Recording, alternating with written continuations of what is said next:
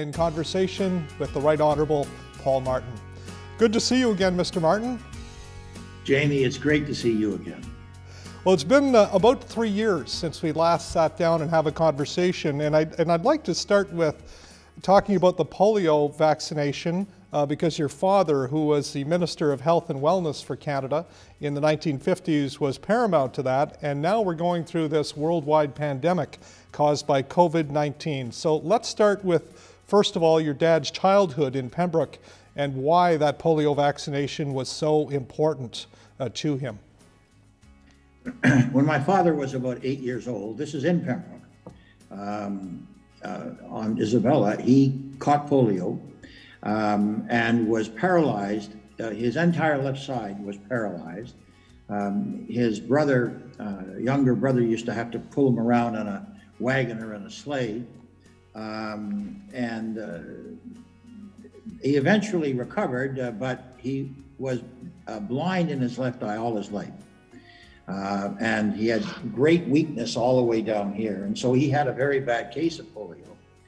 Um, but um, what even added, added, yours truly, caught polio. Uh, in this case, it was a par- uh, paralysis of the lungs. And uh, consequently, you could understand that when my father became the Minister of Health and Welfare, um, and that the polio, uh, the, the, the, massive attacks of polio, the epidemics every single year, uh, there was a, a polio epidemic. Um, my father took this very, very much to heart.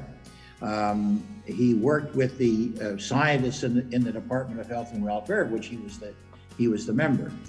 What happened was that the Connaught Labs, which was a, a, a huge lab associated with the University of Toronto, uh, was a world class research lab. And they had a connection um, with uh, Dr. Salk, who was the discoverer of the, polio, the, the, the polio vaccination. And so what they did is they, they worked together with him. And so when my dad became the minister and he, he, knew that they were working on polio, he naturally took a huge interest in the Connaught Labs, uh, made sure that they had everything that they wanted, make sure that he, they worked very closely. What happened then, as Dr. Salk was working on this vaccine, he lacked the virus. He did, could, did, Dr. Salk didn't have enough virus. And of course, when you're working doing that kind of research, you're, you're going through all kinds of virus. And it was called the medium and everything else. It was the Connaught Labs that provided the virus, most of the virus, pro- provided the, uh, the, the medium. And uh, eventually, uh, Dr. Salk discovered, got the vaccine, discovered the means to stop polio. He would not have done that if Connaught Labs hadn't been working with him. So that the fact is, they provided the medium, and then what happened, of course, uh, uh, doc, uh, Dr. Salk dis- discovered it. It was judged. Connaught did the same time at the same time had it, but it was the it's Dr. Salk's uh, uh, uh, discovery, and so they had this.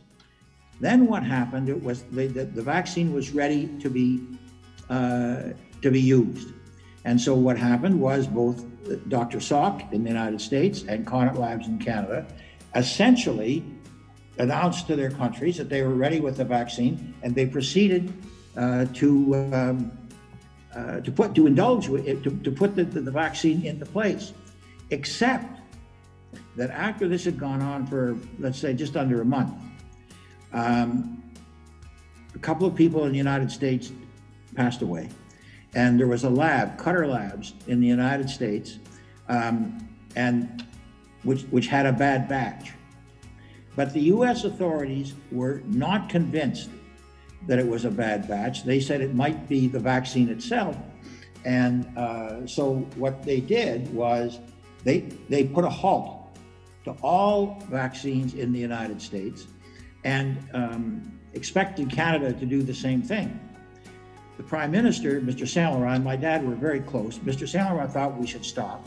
My dad met with the authorities, the, the, the scientists, and they said, no, it's a bad batch in the States. It, the, the vaccine works. And so my dad convinced the prime minister to say, no, we're not going to stop. And we continued with the vaccine, and the Americans stopped for a, a number of weeks.